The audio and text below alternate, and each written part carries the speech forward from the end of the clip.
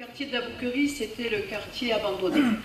Euh, il faudrait, et les des voix s'en rappellent, se souvenir des poubelles qui débordaient, de l'assainissement qui coulait directement dans la rivière, se rappeler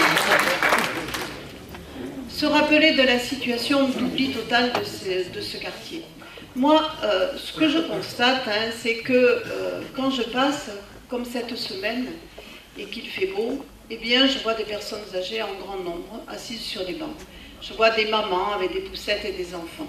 Il est vrai que l'aire de jeu euh, doit être interdite aux, jeux de ballon. Ce n'est pas prévu pour ça et effectivement, ça peut poser un problème. Mais il n'en demeure pas moins que cette aire de jeu est un vrai succès. Il n'y a qu'à juger de la fréquentation. Passez-y ces jours-ci, puisque le soleil est là. Regardez un peu le plaisir que prennent les familles qui n'ont pas la chance d'avoir en cœur de ville ni de jardin, ni de balcon à venir là. L'aire de jeu du parc, elle est saturée. Celle-là, euh, elle est extrêmement fréquentée. Et puis, euh, voilà, il y a des promeneurs, des gens qui s'arrêtent, un accès aux berges qui a été amélioré.